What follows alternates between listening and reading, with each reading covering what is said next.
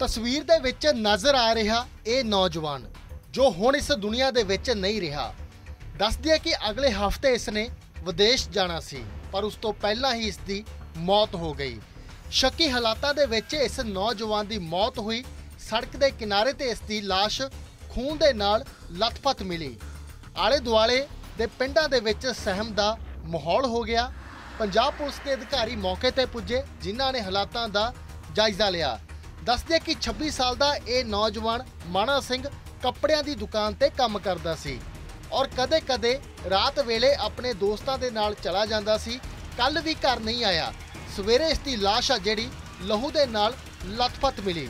ਮੋਗਾ ਦੇ ਪਿੰਡ ਧਲੇ ਦੇ ਪੰਜ ਪੀਰ ਜਗ੍ਹਾ ਦੇ ਕੋਲ ਇਸ ਨੌਜਵਾਨ ਦੀ ਲਾਸ਼ ਮਿਲੀ। ਰੋਜ਼ੀ ਰੋਟੀ ਕਮਾਉਣ ਦੇ ਲਈ ਇਸ ਨੌਜਵਾਨ ਨੇ ਅਗਲੇ ਹਫ਼ਤੇ ਦੁਬਈ ਜਾਣਾ ਸੀ, ਪਰ ਅੱਜ ਸਵੇਰੇ ਇਸ ਦੀ ਲਾਸ਼ ਬਰਾਮਦ ਹੋਈ। ਪਰਿਵਾਰਕ ਮੈਂਬਰਾਂ ਨੂੰ ਸ਼ੱਕ ਹੈ ਕਿ ਮਾਣਾ ਸਿੰਘ ਦਾ ਕਤਲ ਕੀਤਾ ਗਿਆ, ਜਦਕਿ ਦੂਜੇ ਪਾਸੇ ਪੁਲਿਸ ਨੇ ਕਿਹਾ ਕਿ ਹੋ ਸਕਦਾ ਕਿ ਇਸ ਦਾ ਐਕਸੀਡੈਂਟ ਹੋਇਆ ਹੋਵੇ, ਕਿਉਂਕਿ ਇਸ ਦੇ ਨਾਲ ਸੰਬੰਧਿਤ ਕੁਝ ਸਬੂਤ ਬਰਾਮਦ ਹੋਏ ਨੇ। ਫਿਲਹਾਲ ਪੁਲਿਸ ਨੇ ਲਾਸ਼ ਨੂੰ ਕਬਜ਼ੇ ਦੇ ਵਿੱਚ ਲੈ ਕੇ ਪੋਸਟਮਾਰਟਮ ਦੇ ਲਈ ਭੇਜ ਦਿੱਤਾ ਔਰ ਪਰਿਵਾਰਕ ਮੈਂਬਰਾਂ ਦੇ ਵੱਲੋਂ ਕਤਲ ਦਾ ਸ਼ੱਕ ਜਤਾਇਆ ਜਾ ਰਿਹਾ। ਉਹ ਸਾਡੇ ਗਵਾਂਢੀ ਆ ਜੀ, ਮੈਂ ਉੱਥੋਂ ਮੌਜੂਦਾ ਪੰਚਾਇਤ ਮੈਂਬਰ ਵੀ ਆ ਤੇ ਸਾਡੇ ਚਾਚਾ ਜੀ ਦਾ ਬੇਟਾ ਵੀ ਆ। ਕੀ ਨਾਮ ਕੀ ਹੈ ਜੀ ਦੀ ਮੌਤ? ਉਹਦਾ ਨਾਂ ਹੈਗਾ ਜੀ ਮਾਣਾ ਸਿੰਘ। ਕਿਵੇਂ ਮੌਤ ਕਿਵੇਂ ਹੋਈ?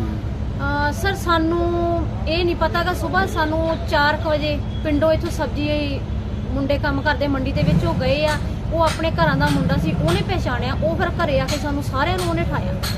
ਵੀ ਇਹ ਆਪਣਾ ਮਾਣਾ ਲੱਗਦਾ ਹੈਗਾ ਆਪਾਂ ਜਾ ਕੇ ਵੇਖੀਏ ਵੀ ਉੱਥੇ ਡੈੱਡ ਬੋਡੀ ਪਈ ਆ। ਜਦੋਂ ਅਸੀਂ ਗਏ ਉਹ ਖੂਨ ਨਾਲ ਲੱਥਪੱਥ ਹੋਇਆ ਪਿਆ ਸੀਗਾ ਉਹਦੇ ਇਹ ਸੀਗਾ ਜਿਵੇਂ ਕਿਸੇ ਨੇ ਉਹਨੇ ਮਾਰਿਆ ਹੁੰਦਾ ਕੁਝ ਅਸੀਂ ਉਹਨੂੰ ਕੁਝ ਨਹੀਂ ਕਹਿ ਸਕਦੇ ਪਰ ਅਸੀਂ ਉੱਥੇ ਪੁਲਿਸ ਮੁਲਾਜ਼ਮ ਵੀ ਆ ਗਏ ਸੀ ਸਦਰ ਤੋਂ ਭਲ ਕਲਾਂ ਤੋਂ ਐਸਐਚਓ ਸਾਹਿਬ ਵੀ ਸੀ ਰਿਸ਼ਪਾਲ ਸਿੰਘ ਥਾਣੇਦਾਰ ਵੀ ਆ ਗਏ ਸੀਗੇ।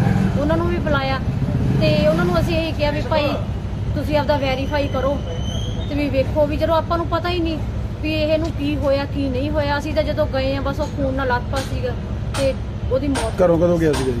ਕਰੋ ਜੀ ਉਹ ਉਹਨਾਂ ਦੇ ਪਰਿਵਾਰ ਦੇ ਦੱਸਣ ਮੁਤਾਬਕ ਵੀ ਅਕਸਰ ਉਹ ਕਈ ਵਾਰੀ ਜਦੋਂ ਰਾਤ ਪੈ ਜਾਂਦੀ ਸੀ ਉਹ ਰਹਿ ਪੈਂਦਾ ਹੁੰਦਾ ਸੀ ਇੱਥੇ। ਉਹ ਆਪਣੇ ਸਾਨੂੰ ਨਹੀਂ ਪਤਾ ਜੀ ਵੀ ਜਿਵੇਂ ਚਾਹੇ ਉਹ ਕਿਸੇ ਦਾ ਦੋਸਤਾਂ ਕੋਲੇ ਰਹਿ ਪੈਂਦਾ ਹੋਵੇ ਵੀ ਇਹਦਾ ਨਹੀਂ ਸਾਨੂੰ ਜ਼ਿਆਦਾ ਪਤਾ।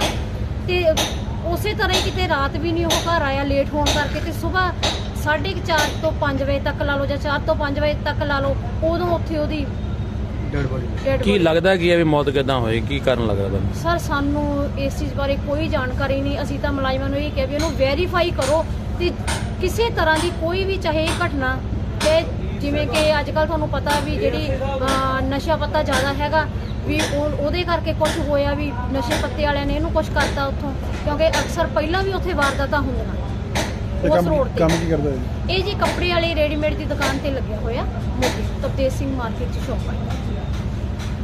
ਉਹ ਲਾਸ਼ ਮਿਲੀ ਹੈ? ਕੀ ਮਾਮਲਾ ਕੀ ਹੈ? ਕਾਰਵਾਈ ਕੀ ਹੈ? ਮਾਮਲਾ ਜੀ ਇਹ ਨਾ ਤੜਕੇ ਸਵੇਰ ਅਸੀਂ ਸਾਨੂੰ ਪੀਸੀਆਰ ਮੋਗਾ ਤੋਂ ਤਲਾਹ ਮਿਲੀ ਸੀ ਥਾਣੇ।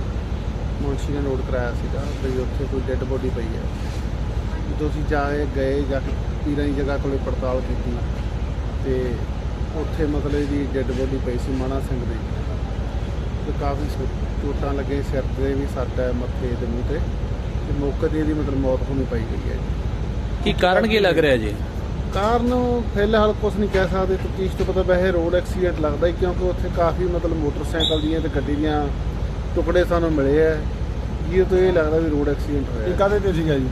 ਇਹ ਪੈਦਲ ਸੀਗਾ ਜੀ। ਇਹ ਕੋਈ ਉੱਥੇ ਸੀਸੀਟੀਵੀ ਤਾਂ ਨਹੀਂ ਸਾਹਮਣੇ? ਆਈ ਕੋਈ? ਇਹ ਫੋਟੋ ਉੱਥੇ ਕੈਮਰਾ ਕੋਈ ਨਹੀਂ ਲੱਗਾ ਜੀ ਤੁਹਾਨੂੰ ਕੈਮਰਾ ਮੋੜ ਤੇ ਲੱਗਿਆ ਉਹ ਸਿਟੀ ਪਾਰਕ ਦੇ ਕੋਲੇ ਪੈਲਸ ਦੇ ਵਿੱਚ। ਉਹ ਅਸੀਂ ਪੜਤਾਲ ਕਰ ਰਹੇ ਹਾਂ ਤੁਹਾਡੇ ਸਰ- ਵੱਲੋਂ ਕੀ ਕਾਰਵਾਈ ਕੀਤੀ ਜੀ ਅਸੀਂ ਮੁਕੱਦਮਾ ਦਰਜ ਕੀਤਾ ਜੀ ਤਫਤੀਸ਼ ਕਰਦੇ ਹਾਂ ਫਿਰ ਪਤਾ ਲੱਗੂਗਾ ਜੀ ਜਿਹੜੀ ਕੋਈ ਕਾਰਵਾਈ ਹੋਈ ਅਸੀਂ ਕਰਾਂਗੇ ਸਰ ਕਿੰਨੀ ਕੁ ਉਮਰ ਸੀ ਇਹਦੀ? ਇਹਦੀ 26 ਕੁ ਸਾਲ ਉਮਰ ਦੱਸਦੇ ਆ ਜੀ। ਕਿਹੜੀ ਧਾਰਾ ਦੇ ਤਹਿਤ ਕੀਤਾ? ਹੈ ਅਸੀਂ 279 304 ਦਾ ਮੁਕੱਦਮਾ ਦਰਜ